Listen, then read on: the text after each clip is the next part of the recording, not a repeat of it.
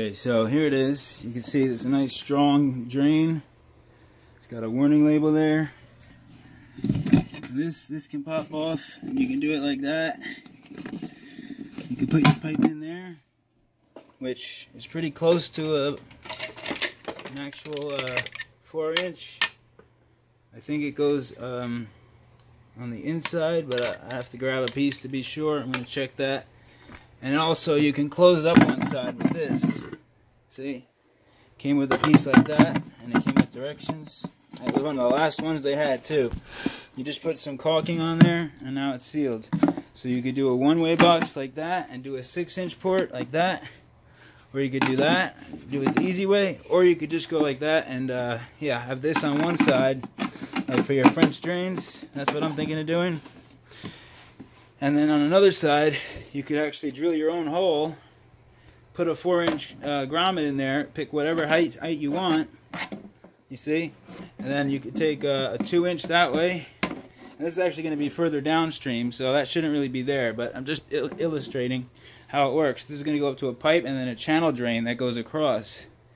So it's going to reuse the channel drain if I can. That's a two inch, and also we'll get one that's a one and a half inch so the pump discharge will actually flush. See how it's curved? It actually is curved like that. So when it the water comes out, it's like flushing the toilet. So any any debris that gets blocked in there will just get whoosh, flushed right out of there. As soon as that pump turns on, it's going to be like whoosh, shooting that water through. Now, yeah, I got grommets and a five-inch drill bit, five-inch hole saw. So I'm going to put a my own sized piece there. And ignore these little things. The other one that they had had cutouts, but I didn't want the cutouts. I wanted just the plastic. So I'm going to pick where I'm going to put my holes and just stick the grommet in there. And then the straight, straight pipe is going to go in there wherever it's at, probably down low. No, probably down, probably high up because I'm getting the slope out to the front.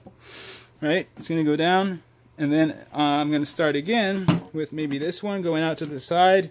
Maybe put an elbow over here with a 3 inch. I'm not sure and, and cut either a 3 inch or a 4 inch here and then at a lower height, right?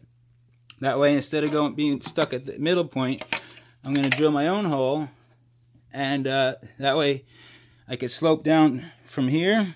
When it gets filled up, this is going to be in the bottom of the bottom of the lawn, right? The bottom of the yard where the low point is of the water so that uh, the soil and grass won't grow in here or fill it up with roots because the soil is going to be right up there and then uh, it's going to be coming out here, and then the water will flow downhill into that uh, into that uh, foundation, and then out in the front of the yard. So it's going to literally be very tight, like three inches total from there.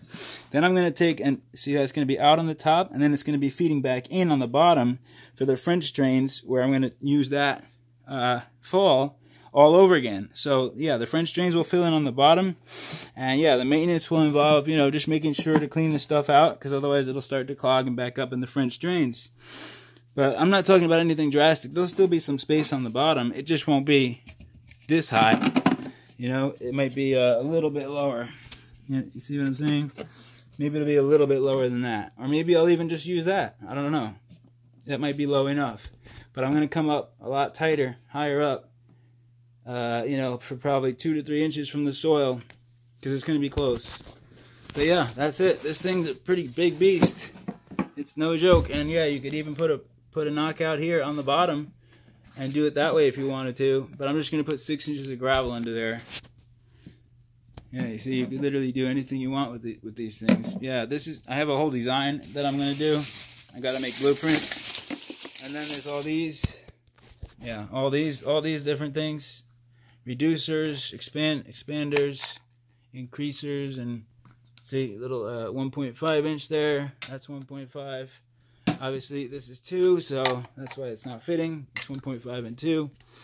So yeah, I got a couple of these flex fittings and expanders and reducers. And this is to get a specific angle that I may or may not still do. It's it's it's pretty complex. But anyway, that's the whole deal.